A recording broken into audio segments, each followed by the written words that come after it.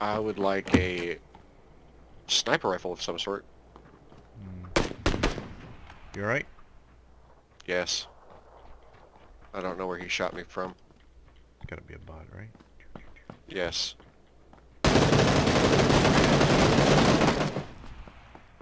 I am almost dead. He's in the garage.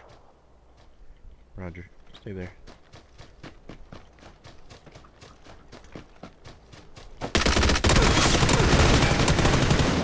He downed me.